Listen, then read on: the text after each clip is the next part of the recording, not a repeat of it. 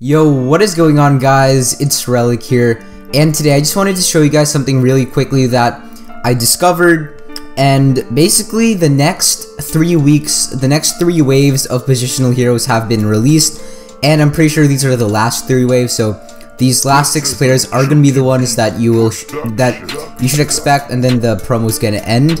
Now, how I did this was I basically just I set my date forward a week, and then two popped up a week after, two more popped up, one more week, and then two more popped up, and then no more popped up after I did a week later. But basically, we can see the stats and stuff, and you can basically prepare for these.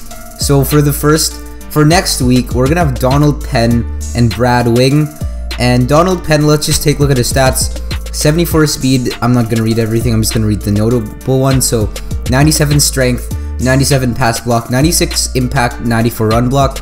Definitely not bad at all. And for the next one, you got a 99 overall puncher, Brad Wing. And this guy actually DM'd me on Instagram.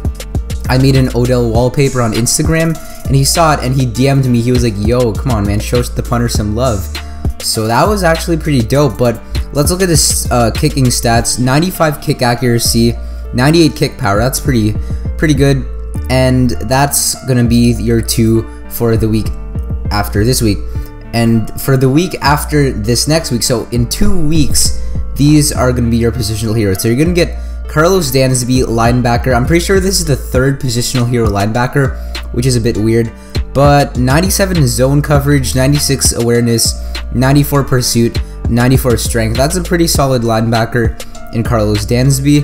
And for the second one, for in, in two weeks, you got a punt returner. So that's pretty interesting. 99 overall Marcus Sherels, with 96 speed, 98 XL, 96 kick return, 96 ball carrier vision, 95 agility, and that's what you're gonna get for the net for uh, the positional heroes dropping in two weeks. And then for the last one, you've got Demaryius Thomas, and I think this card is pretty dope. Like it looks dope, and the stats: 95 speed, 95 XL, 97 jump, 98 agility. That is super solid. And then your last positional hero is going to be the kicker that you guys have all been waiting for. So I suggest stock up in some elite kickers because once this guy drops, elite kickers are going to rise and gold kickers as well. So 99 Dan Bailey has 99 kick power, 98 kick accuracy, 96 XL, 95 speed, 97 agility, and some pretty amazing throw accuracy and throw power stats right there. But yeah, I just wanted to bring this to your guys' attention the six positional heroes that's going to be dropping in the next six weeks. And it's pretty dope because this wasn't able to happen, but I guess EA just decided to load them all in the game for the future weeks. But that's pretty dope. Uh, thank you guys for watching this short little video. If you enjoyed, please drop a like down below. We are so close to 10k.